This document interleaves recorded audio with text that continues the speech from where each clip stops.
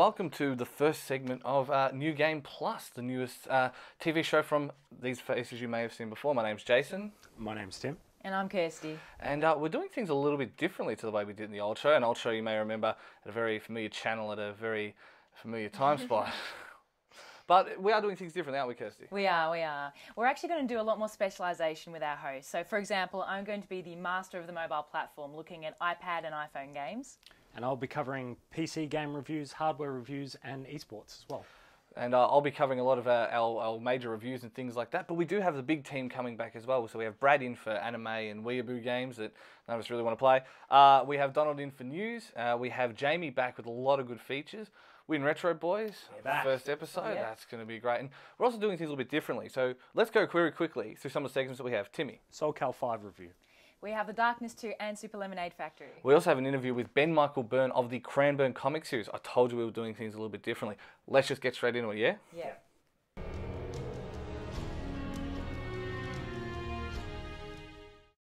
A fighting game franchise that has been around for quite some time now is the Soul series, starting with Soul Edge on the PlayStation 1 and kind of going up from there. Soul Calibur 5 is the latest installment of this, released on the next gen consoles. Is it really as good as the old Soul series, or have they strayed too far from that and created something that's not quite the same at all? Fight.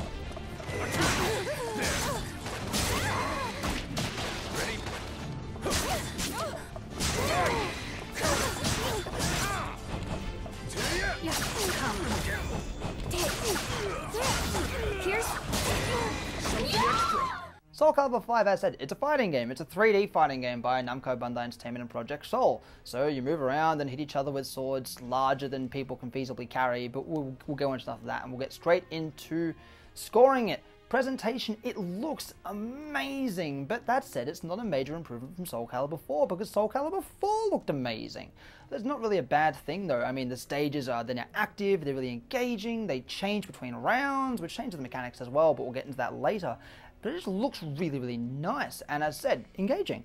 The sound complements this as well, performed by the Eminence Symphony Orchestra. So it's a fully orchestrated soundtrack. It's all really epic in its grandeur and its approach, and it just, it really, really does, as said before, engage you. That's the idea. That's what it does. And providing game to do that these days is really, really rare. So for presentation, I'm going to give it a nine.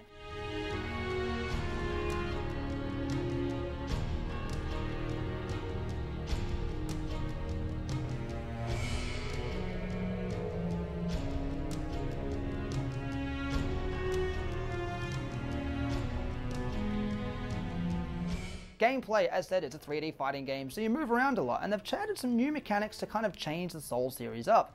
They've added quick dodging, so you can dodge real quick. They've kind of gone the way of Super Street Fighter. They've added EX moves. They've added ultras.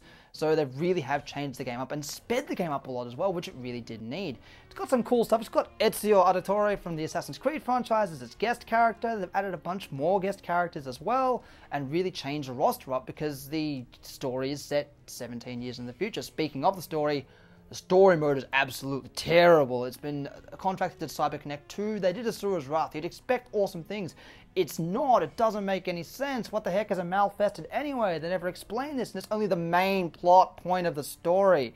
What are you doing? So we just ignore that and go straight into the other modes. You've got quick battles, which allows you to go against other people who the computer has generated up, including Tekken's director Harada-san, Filthy Rich, the community manager, and MCC Akane, who being the major player for the Soul Calibur franchise out in France. You've got online as well, and the netcode ain't too bad. You've got the global Coliseum, so you can go against other people in kind of this room thing as well. And there's a really, really awesome and unique lobby system because you can talk and watch a match at the same time with a chat system, which you haven't seen before. So for gameplay, I'm going to give it an 8 all in all, the game's going to get an 8. It's an engaging game, and it's fresh to see a fighting game take up an approach that it has to this. They've added some really, really cool things, and they've really brought a fresh fresh way to the way fighting games should be approached. And for any fighting game fan, really, really should at least take a look at it. Well, that was Soul Calibur 5, and we'll be discussing that very soon with my good friend Timmy, good to see you. Good to see you as well, Jason. Now you'll be, of course, with us as well, much like the other kids. But you've got a couple of things you have to cover. You've got hardware. You'll be doing a bit of esports coverage with Yep. some other guys. You've uh, you've got some PC reviews you'll be doing for us Always, as well, like your bread and butter, because you still can't get you on a console. but you'll learn. That's right. And then we've got my favourite segment, and I'm going to start calling it. Uh, uh, the, the idea is we're gonna, we're meant to be calling it "Would you play that?" Yeah. in, you know, would could I convince you to play the game? But I'm going to call it "What would Timmy play?" because I want you to be subjected to it all because you're young and you seem to have these like misguided notions on music that like you know there's no music in the world outside of like Offspring. Um, Has yeah. to be Aussie. Has to be Has to Aussie. be Aussie. Don't anyway. But uh, so I, I, I want to see if the, if we can convince you about some of the games that probably look a bit weirder that you'd play. Now Soul Yeah. Calibur unfortunately is at hard sell, but we can definitely talk about Soul Calibur Five. Now we obviously had a, a bit of an extended play with it while we were in Yep. Sydney. You would actually play that because I've actually seen you play that. Yes, monkey with a stick, best character ever. Monkey with a stick is the best character. Yep. Is that seriously? The, You just poke people and you win. It works. That's not even touching that. But so like, so I mean, I was, I was talking to Brad, and Brad was saying his favorite mode was what they do is they'd randomize characters in the character creator, and then bet on them because they just make these random like you know tribal warriors with chef hats. That's always going to end badly. It is, a- and, I don't know. Like I, I I think it's a really fun game. I mean, particularly after number four where it was so cheap. Did you play that? And you Mm. Yeah, play as Yoda, and unless you just hit him low, and then I don't know. But would Timmy play this game? Would Would Yes, Timmy dedicate yes. a lot of time to it? Yeah, Oh, maybe not a lot of time, but still. a lot of time. There's there, there's, only, there's only so much you can poke people. Timmy, jeepers. Anyway, well, this is the first episode. I guess I guess you're probably missing the Zerg rush of it all. Is that is that it? No? Yeah. Yeah. Yeah. You know what? Let's keep going. Thank you for joining me, Timmy, and, and making uh, your presence here really worthwhile.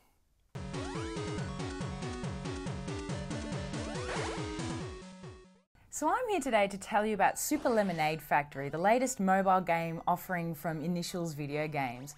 It's this great little puzzle RPG set in this post World War II lemonade factory. And the whole point of it is you conquering each different level of the lemonade factory, making friends with the workers, moving crates, and in the end owning this lemonade factory. The great part about this is you control two characters to do that, and each of these characters have their own specialities. So one can jump higher, one can move boxes like a real man, and that adds a little bit of spice to it. There's enough puzzles in here to keep you interested for a while, so the replayability factor is really high. There's also hardcore mode, which is basically just added spikes and smaller platforms. So if you earn enough points, you can have a more difficult experience. The best part about this game, though, is its music. This great chiptune soundtrack that is actually different for each of the main levels. And when you get into hardcore, it also gets more hardcore. Heaps of fun. Definitely recommend for iPhone more than iPad, simply because the controls are really intuitive there. iPad, it's just too big. Also, it doesn't flip on iPad, so it'll work better on iPhone. But definitely a game worth checking out. Lots of replayability and a fantastic soundtrack.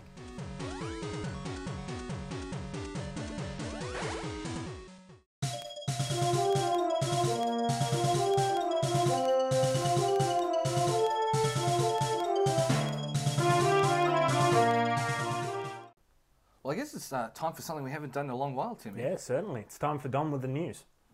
News Game Plus. Oh, you mean the news game update? Ugh. Thank you, guys.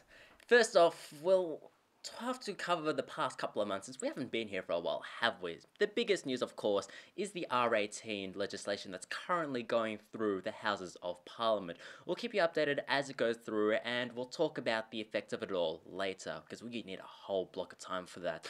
In the meantime, though, there were a whole bunch of games announced or given release dates, the most prominent of which being Diablo 3, which has been in development for almost four years now and will finally be out for all you eager mouse destroying fans on the 15th of May. As well as that, Borderlands 2 got a dubsteppy trailer because, you know, young people, and that will be released on the 21st of September.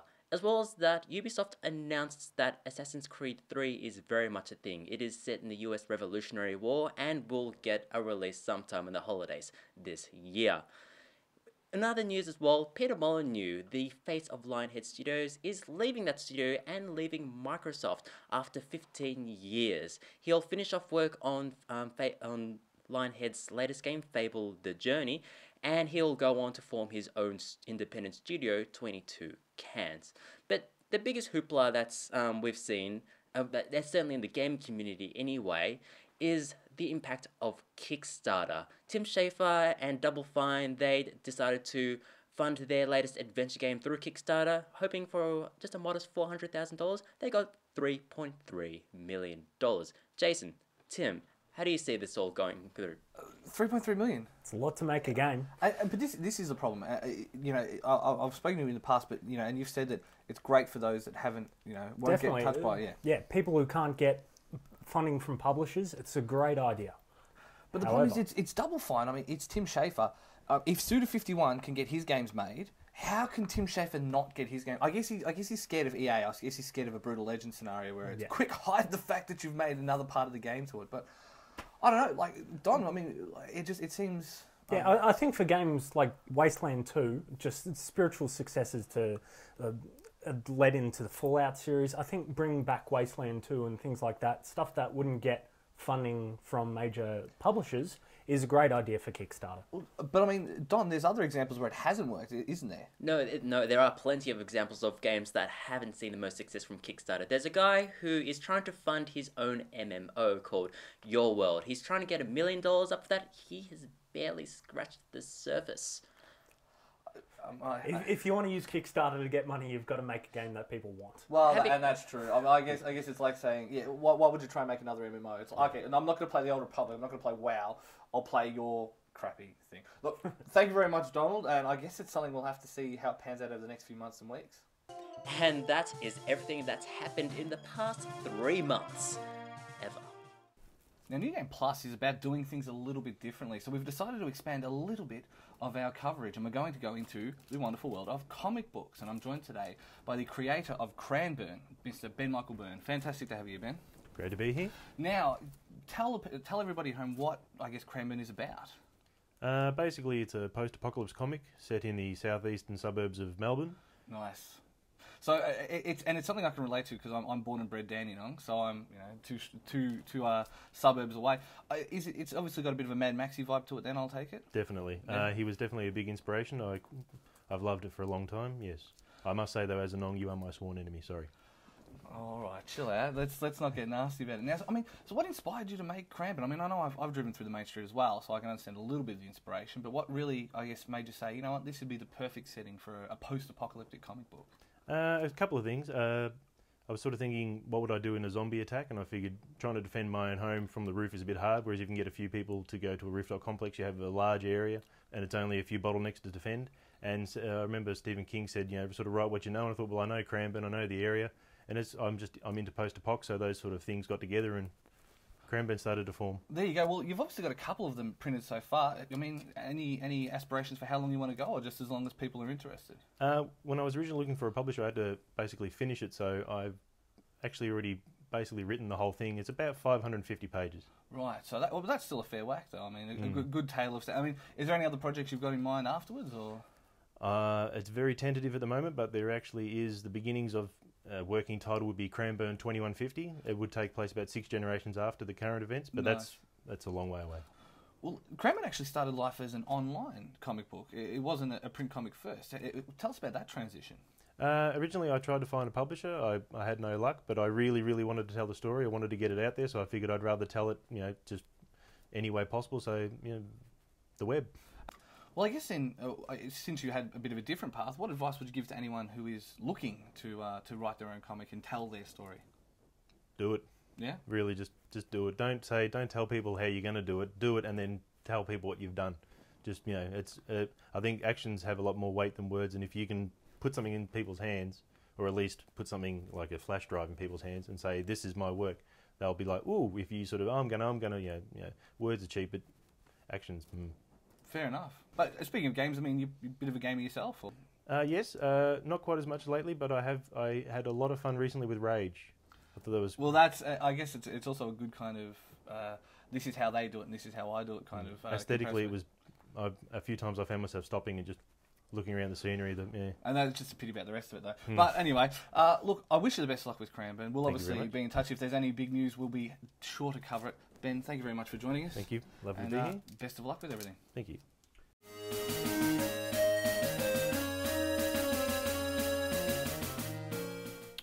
G'day, guys. G'day, we're here again. Well, not really again because it's uh, We're here somewhere. Where, yeah, where are we? yeah, it's new set, new show. New background, a bit of a terrorist home videos. I'm a worried about, but know, I, I think Al Qaeda's our new uh, new sponsor. But uh, you know, you still got the same two old guys here doing what we always do, the same old stuff. And uh, what are we doing today? we're going to tell you a little bit about why we decided to call the show New Game Plus. New Game Plus. Where'd that come from? Yeah, because in the old days, we, we were old gamers. You know, there was just two or three screens, and yeah, every time you passed it, it was a new game. As the Thai gamers would say, same, same, but different. Yeah, you know, the only thing that really leveled up was you. Your skill got better, so you did. But uh, New Game Plus, it's you know, it's a, it's been around for a little while. It's sort of a new concept though in terms of gaming. You know, Chrono Trigger was the first one that used this name. Now, what this does was, you know, you played through the game, and after you finished, if you wanted to continue, you open up a new option, New Game Plus, and uh, you could play through. You know, gave you bonuses like if you had bonus money and levels and that Make sort it a of bit stuff. harder though for you. You could also make it a bit harder because in the old days, it kept getting harder and harder, and Well, in the old days, we didn't have New Game Plus, or even before finished, we had uh, Clocked, which of course would be the score, and you'd play it until you clocked the numbers over and start 999, again. and then they'd start all again. But uh, you know, a lot of games, you know, these days things like Mass Effect, well, they've, they've sort of changed this new game plus. So you start in one game, you bring your character to the next one, and now the third one as well. So you bring over Yeah. choices you made in the first one, come across, and yeah, a lot Next of, step. Yeah, and you know, a lot of games are using actually using the name. Like Arkham City has a, a new game plus mode, uh, mode again as well, and uh, a lot of the shooting games, things like uh, there's a small game out there called COD, and uh, what this does is you know you can prestige. So as you play through, all it does is give you a little star or something next to your name. Forget, forget Call of Duty and those COD suckers.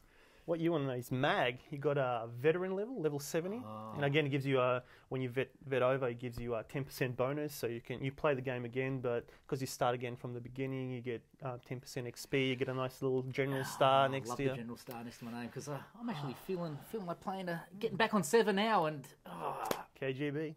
Let's go. goes good with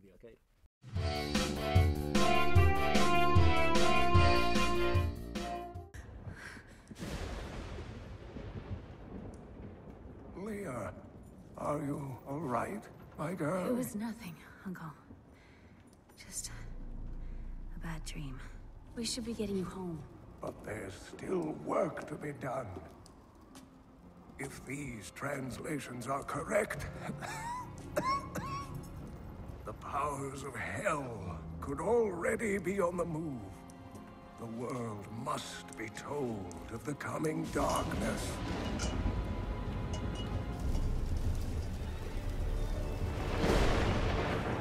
You do believe me, don't you, Leah?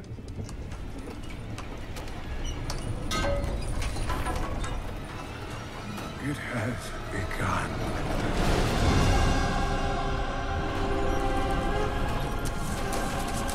Leave it, Uncle! It's not important!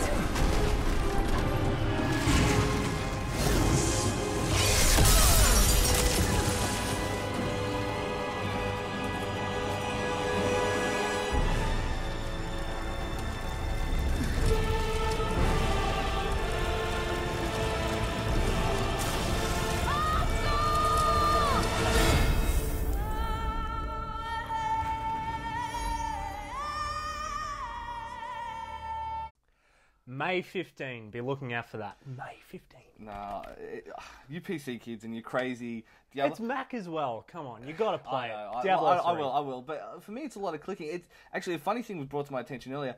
Uh, The same day that Diablo three comes out, the Game of Thrones game comes out. Not the best of ideas. Surely they could. I Not mean, the maybe best that's of what ideas. Diablo did. Maybe they're like, no, this is our game. You you all need to back off. Anyway, uh, hopefully it's good. Big story. We'll no doubt we'll have some big coverage for it. Yeah, but definitely. I guess let's keep going again.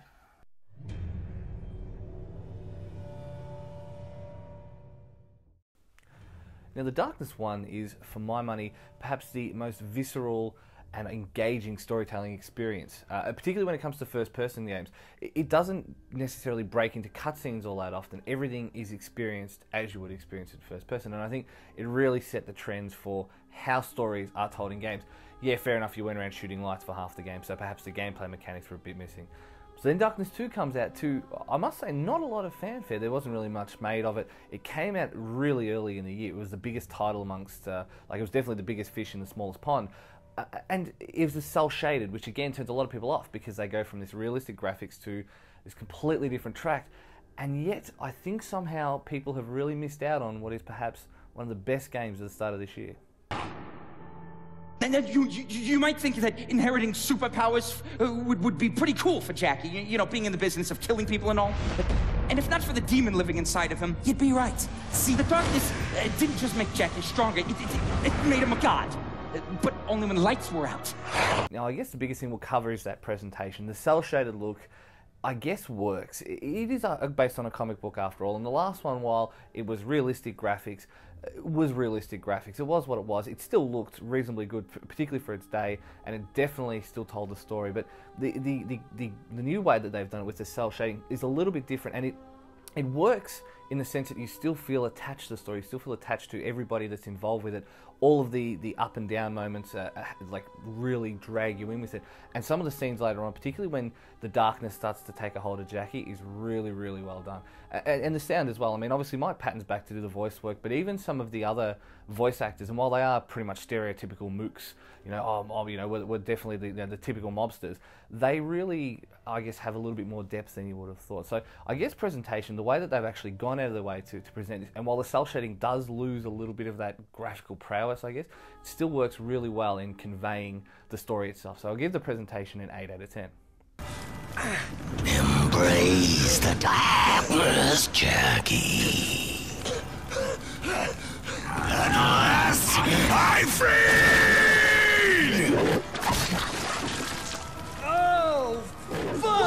Hell is that? Now the gameplay, and this is probably the biggest, I guess, improvement on the last one. It still has a lot of those key storytelling elements. Like there's a lot of the the story told through those first-person experiences.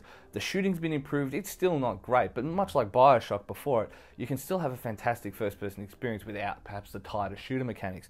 Uh, the the way that the the tech tree works now works really well in that. And I guess instead of you know splitting their efforts between multiplayer and this, there is multiplayer, but it, it's run I guess more of a, an integrated experience. They've got the Vendettas mode. They've also got uh, like the the way that you control. I can't remember they're called. The little darkling bastards. I keep forgetting what their name is, but there's only one in this one, and it actually works really well to become part of the story. And it, it just, again, it flows fantastically. So the gameplay much improved from the past. Again, the shooter mechanics probably aren't 100%, but works functionally, works well, and it really helps to tell that story. 8 out of 10.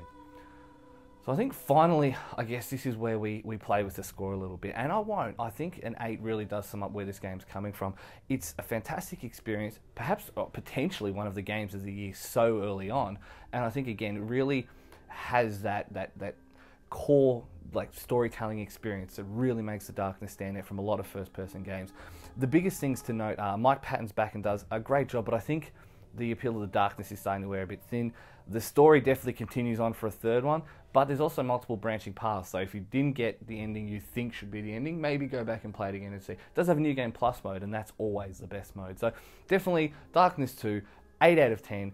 Fantastic game, definitely game of the year contention this early on, and uh, I really recommend having a look at it if you are interested in storytelling in the first person.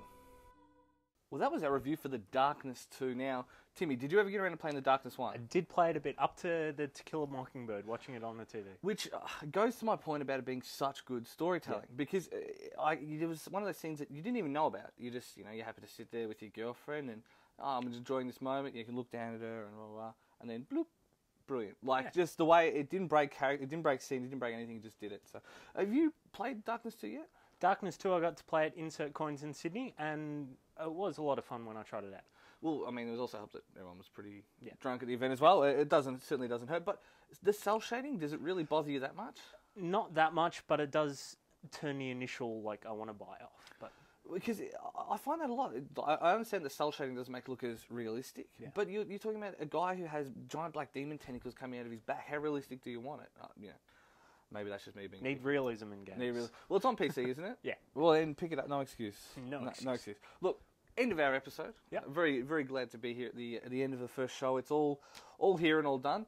But lot we've- to look forward to next week. a lot well. to look forward to. But in the meantime, we should cover the fact that we have, you know, obviously brand new Facebooks and Yes, brand new yes. Twitters and whatever the kids are into nowadays. So like us at uh, facebook.com forward slash New Game Plus TV. I'm told we are at at New Game Plus TV on Twitter, whatever that means. I don't know with these Twitter kids, and obviously NewGamePlus.tv for the website as well. Where you'll find all full episodes, reviews, segments, and even some extra stuff on the website. And we're and we've obviously got news blogs, things like that. It's going to be great. A few of our collaborators. Looking forward to it. It's going to be big. You're excited, Tim. Very You're excited. Very excited. I'm excited. Let's not do that. That's a bit too Aussie. Uh, but thank you everyone for joining us. We will see you guys next week. And uh, I guess stay classy.